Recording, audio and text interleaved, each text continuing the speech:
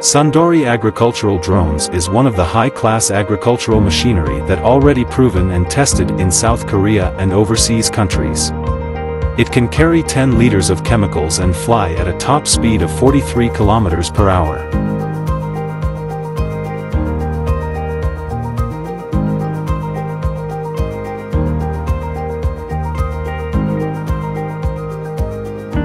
It is very simple to operate without using a computer program but solely by remote control and it's very easy to control and more durable. Within 15 minutes of training, you can already fly and use our drone. It is equipped with six 26-inch carbon propellers. The drone is equipped with two nozzles that regulate the flow of chemicals maximizing the control effect and very easy to store and move with the frame and propeller because of the foldable structure. The flight can be easily planned with the press of few buttons or setting it automatically under smart mode. The Sundori agricultural drone's return to home function is very useful safety feature that helps bring the drone back to safe, accessible landing location. The Sundori drones will set its takeoff position as the home point when it receives GPS signal.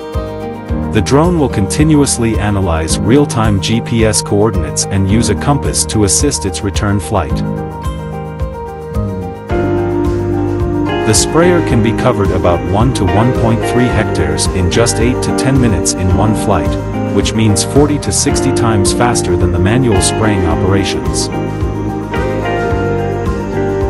The strong downwind design allows the drug to penetrate evenly, Drones in agriculture can be used to increase farm crop yields and accurately monitor fields, while simultaneously decreasing time, labor, and resources. There are many benefits of drones in agriculture and by using professional quality components, you can increase performance and efficiency. The SDR A20 is the bigger version with a large capacity of 20 liters and can possibly control about 2 hectares for 15 minutes in one flight. This kind of drone can be used in two different ways, one as a sprayer for fertilizer, and the other one as a seed spreader with a spreading width of up to 5 meters.